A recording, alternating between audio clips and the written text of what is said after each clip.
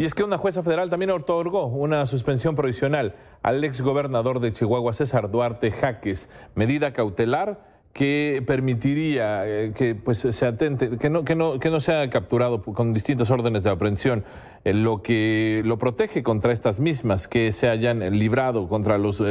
delitos que no ameriten prisión preventiva oficiosa. Adriana del Carmen Martínez Lara, jueza octavo de distrito con residencia en Chihuahua, admitió a trámite las demandas de garantía el pasado 27 de abril y luego de que el exmandatario estatal aclarara su demanda, la juzgadora dejó claro que la suspensión provisional no impide a las autoridades ejecutar alguna orden de aprehensión donde se reclamen delitos que ameriten prisión preventiva oficiosa.